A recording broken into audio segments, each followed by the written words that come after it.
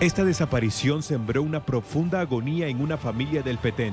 Un bebé de cuatro meses fue raptado el jueves de la semana pasada en una comunidad de Flores. De acuerdo con las autoridades locales, el recién nacido estaba durmiendo en una hamaca y su progenitora lavando ropa cuando ocurrió el secuestro. La Fiscalía Distrital del Petén está a cargo de las investigaciones. Desde la capital del país, el portavoz del Ministerio Público Juan Luis Pantaleón confirmó que equipos de búsqueda del ente investigador y de la Policía Nacional Civil iniciaron con una serie de operativos desde el día de la desaparición para ubicar al bebé. Los fiscales recolectaron indicios para el fortalecimiento de las investigaciones. Ese trabajo permitió resultados positivos en las últimas horas. Esta noche, las autoridades confirmaron la localización del bebé en una comunidad de la libertad.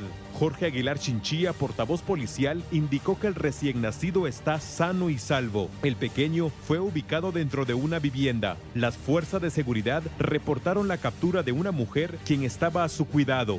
Este video muestra el momento del reencuentro de los papás con el bebé Pablo Ariel Ramírez Tush. Los papás no podían contener las lágrimas tras volver a tener en brazos a su pequeño angelito.